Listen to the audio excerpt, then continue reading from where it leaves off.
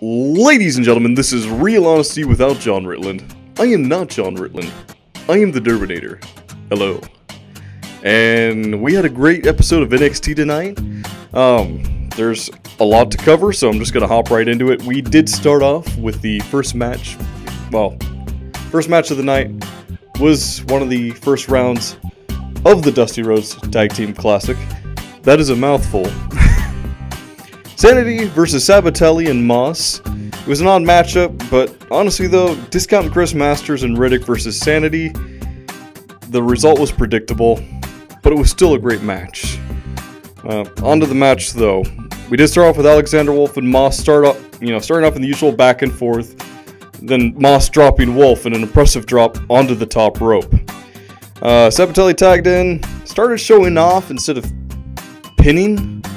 Um, and kind of showing the difference between the two on that tag team because when Moss came in, he he went right down to business. He he was the Trunks to Sabbatelli's Vegeta, essentially.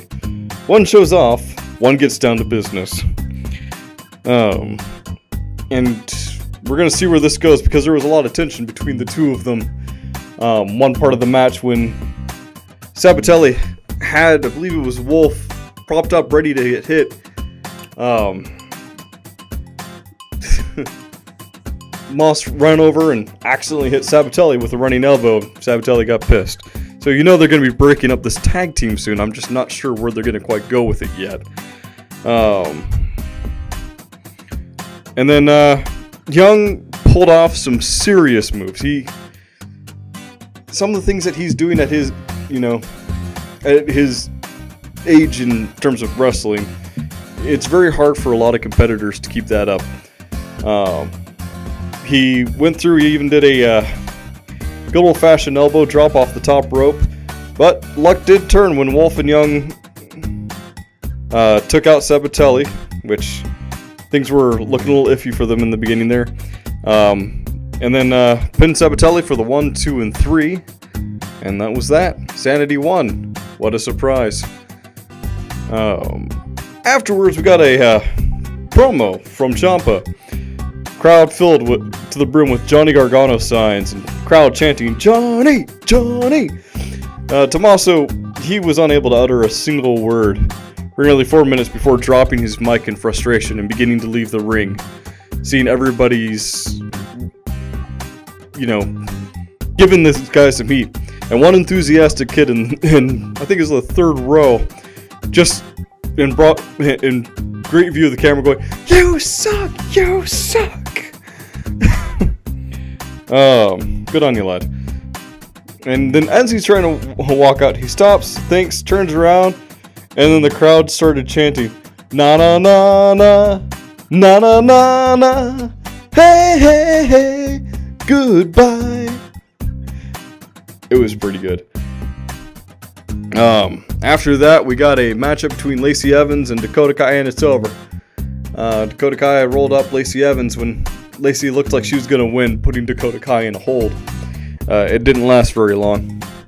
Afterwards, Our Lady of Perpetual Boring, uh, Shayna Baszler, showed up and started laying the smackdown on Dakota Kai. Uh, or at least tried to.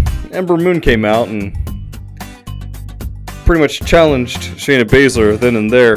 There was a good two minute, three minute scuffle, and then uh, Shayna Baszler uh, got taken out by Ember Moon, which was a nice change of pace. Uh, after that, we had a uh, the last of the first round of the uh, I think it's the last of the first round. Um, of the Dusty Rhodes Tag Team Classic, and that's Street Profits versus Heavy Machinery. This one, I was anticipating Heavy Machinery to win. They did not. Montez Ford and Dozer started facing off with uh, Dozer with the obvious advantage, I mean, due to his size. Um, knocking Montez Ford into the corner. Ford reaches back, grabs a drink, starts taking a drink, and then offers it to Dozer. And then uh, Dozer's like, yeah, sure, sure goes to take a drink, and then as he's drinking, Ford's like, oh, cool, I can relax a little bit. Things aren't going to be too bad. And then, whoosh, Uh, Dozer hits him with a clothesline. well, more like just runs him the fuck over. Um, there was quite a bit going on here, but in the end, after uh, Ford managed to get away from uh, Tucker, uh, let's see here, how, how best to go about this? It does go through. Tucker gets Ford into a bear hug. Ford escape, uh, escape using punches and tags in D'Angelo, who gets in some solid offense against Tucker uh, before Tucker completely halts his moment. But after some agile tactics by Ford, especially getting Dozer over the top rope, uh, Dawkins hits a DDT, tags Ford, and Ford ends it with a frog splash. Not a bad way to end it. It was unexpected though. Heavy Machinery super over with the crowd, and to see them lose was kind of a surprise to me, but if everything's predictable, nothing is fun. Um, oh boy. Oh boy! Then we get to the UK Championship with Adam Cole, Beer Belly, uh, versus Pete Dunne. Pete Dunne showing no regards for the Undisputed Era's existence, which would have cost him severely. Um, and then he did. And then he did notice their, their existence. Staring down Fish and O'Reilly, gets kicked trying to re-enter the ring by Adam Cole. Cole gets knocked the fuck out by Dunne, who just sends him from one side of the ring to the other. Um, and then takes him to the ground and starts twisting his fingers before stomping him. Pete Dunne was torturing Adam Cole, and this was kind of uh, cathartic to watch. Um, Dunne gets the top turnbuckle, and Fisher O'Reilly distract the ref, allowing Adam Cole to take out Pete Dunne, injuring his knee. Um, and Pete Dunne bring the full fury to Adam Cole, even using a step up enziguri.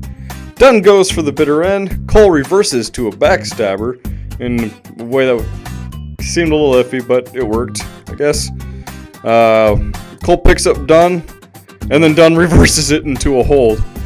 Um, Cole manages to pick him up again and strike him with a neckbreaker, but couldn't pin him. And then Cole, getting overconfident, feeling like he's on top of the world, starts taunting Pete Dunne. And you, and you, you never taunt Pete Dunne. Pete Dunne isn't that guy you should be taunting. But Pete Dunne responded by punching him once. And that's all it took, and it sent him from the middle of the ring the corner. Uh, and then, uh, yeah, Adam manages to get the last shot on, or after Dunne takes out Fish and O'Reilly. Dunne starts torturing Cole uh, when Fish and O'Reilly interfere and end the match by DQ. Adam Cole does not become the champion, nor does he win the match. Uh, they then begin attacking Dunne when Roderick Strong shows up. Because that guy is a workhorse, apparently, because shit, he was just on 205 Live. Wasn't he? I think he was on 205 Live. I wish I wish Jonn was here so I could like ask him because he'd probably have a better memory when it comes to wrestling than I do. But the fact that Roddy is putting in all of this effort is pretty impressive. Um, the two of them end up going up against Undisputed Era, and Undisputed Era, unable to conquer the two of them, retreat, licking their wounds and looking rather pathetic in the face of the two. Um, Strong goes in for a handshake, and Pete Dunne just looks at him and then just kind of brushes his shoulder and then walks off. Um, but they're gonna end up a tag team. You know they will. and then, after all said and done, we get to uh, the contract signing between Aleister Black and Andrade Almas. Uh, except Andrade Almas was not feeling so bien, so he wasn't there. Um, Zelina Vega shows up in his place, and then the hilarity ensues.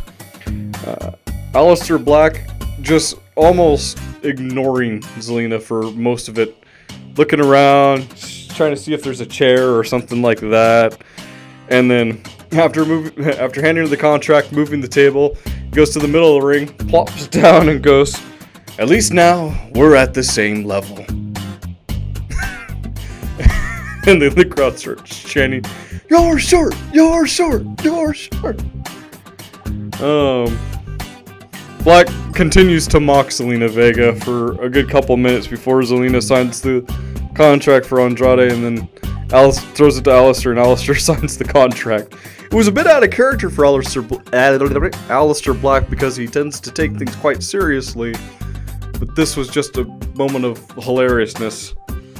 Um, then, as he's walking out and Zelina Vega's berating him, he goes, You know, I'm glad you, Andrade wasn't here. I'm glad you came out alone. Because I didn't. And Candice LeRae's music hits. And Candice LeRae, eh, if you don't know, she's married to Johnny Gargano, that guy that people are mad about, Toma- mad at Tommaso Ciampa about. Um, and she proceeds to chase down Zelina Vega and beat her up, uh, throwing her onto the announcer's table, hitting her with a couple elbows, then dragging her over to the middle of the ring and leaving her defeated. Um, Candice LeRae walks up, Aleister Black kind of congratulates her, and the show is over. Uh, overall, this was a great episode. Um, it's not the best. The matches with Pete Dunne are always brilliant. Um, I can't really give this anywhere close to a bad grade. So I'm gonna give it. Um, I'm gonna give it a B plus. NXT still hasn't quite disappointed me yet. The only real complaint I could have is how much time they give the women. But this time it was an actual story element, not just a, a minute and a half squash match. But that's my opinion. Let me know what you think down in the comments. Hit the like button, hit the dislike button, whatever you want to do. I don't particularly care. Um, hit subscribe. And with that being said, this has been Real Honesty without Jonn Ritland. I am not Jonn Ritland. I am the Derbinator. And you have a great night.